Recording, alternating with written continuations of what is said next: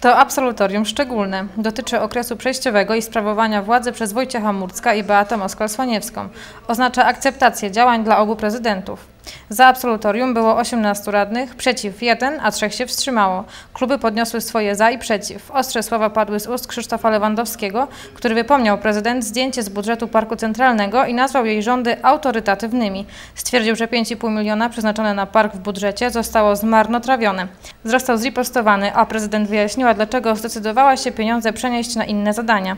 Stwierdziła, że budżet ma służyć mieszkańcom Świdnicy, a nie budowaniu pomników władzy. Kluby podczas sesji wyrażały swoje stanowiska. Klub Świdnickiego Forum Rozwoju zdecydował na posiedzeniu o udzieleniu absolutorium pani prezydent e, Beacie Moskal-Słaniewskiej za wykonanie budżetu za 2014 rok. E, dlaczego tak zrobiliśmy? Gdyż e, pani prezydent dopiero od 8 grudnia 2014 roku pełni funkcję prezydenta i za praktycznie 90% budżetu był odpowiedzialny jej poprzednik który realizował ten budżet, więc ciężko w tym momencie odnosić się do budżetu, który był, y, którego autorem był inny prezydent i poprzednia Rada Miejska. Dlatego jak najbardziej absolutorium zostanie udzielone.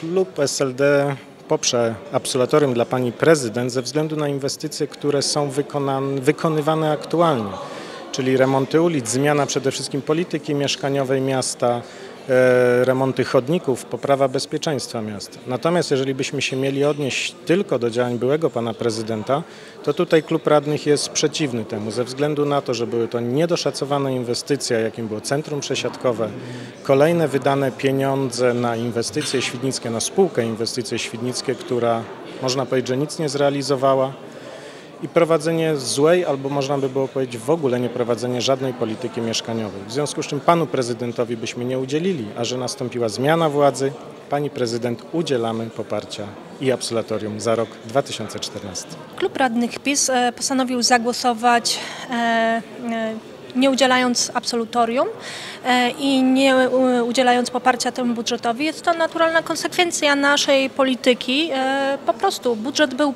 tworzony przez poprzednią ekipę i wiele rzeczy tam nam się nie podobało. Nie, zgadzałyśmy, nie zgadzaliśmy się z nimi, więc nie mogliśmy go poprzeć i, i, i zaaprobować tego, dlatego wstrzymaliśmy się od głosu.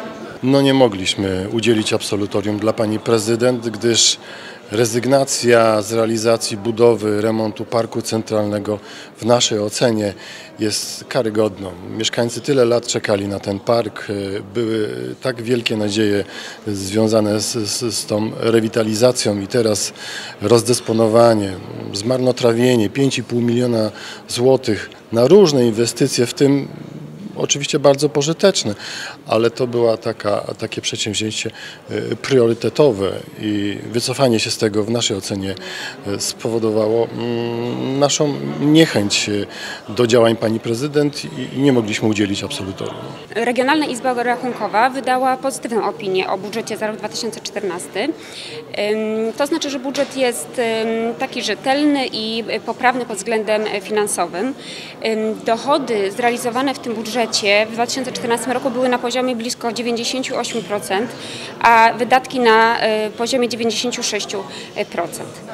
E, my jako radni powinniśmy oceniać ten budżet pod względem celowości i gospodarności w wydatkowanych e, środkach, ale ze względu na to, że jest nowa kadencja, kadencja Rady i pani prezydent, nie odnieśliśmy się do tego. My jako klub Platformy Obywatelskiej Polskiego Stronnictwa Ludowego udzielamy absolutorium pani prezydent.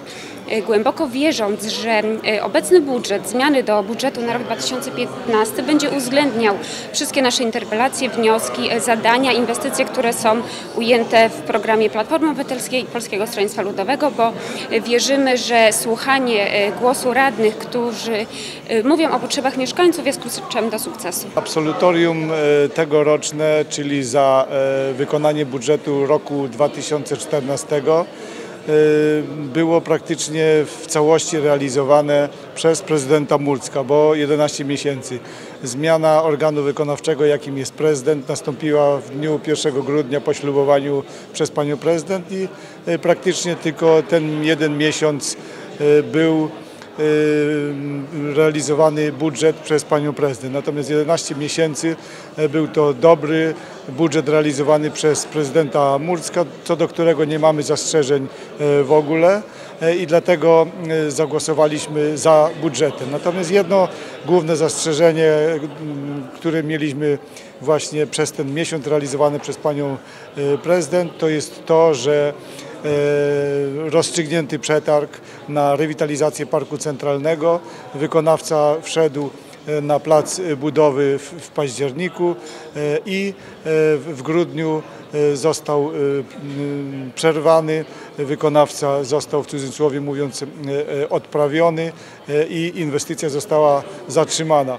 Konsekwencją tego było nie rozpisanie następnego przetargu w styczniu czy w lutym bieżącego roku, ale rozdysponowanie pieniędzy, które były przeznaczone, to było ponad 1,5 miliona złotych, które były przeznaczone na rewitalizację Parku Centralnego. Przez całą poprzednią kadencję i jeszcze dwie kadencje wstecz Opozycja lewicowa krytykowała prezydenta Murska za e, niegospodarne e, zarządzanie parkami, czyli, czyli brak inwestycji, porządkowanie i, i jeśli e, praktycznie w drugiej połowie e, ubiegłej kadencji rozpoczęto porządkować, robić e, inwestycje, czego przykładem jest e, zmodernizowany park e, Jana Kast, imieniu Jana Kasprowicza przy ulicy e, Pionierów. E, To można zobaczyć, stwierdzić, bardzo e, przyjemnie, sympatycznie e, e, zmodernizowany i rozpisany przetarg i, i, i rozpoczęta rewitalizacja Parku Centralnego, e, praktycznie e, położona e, w takim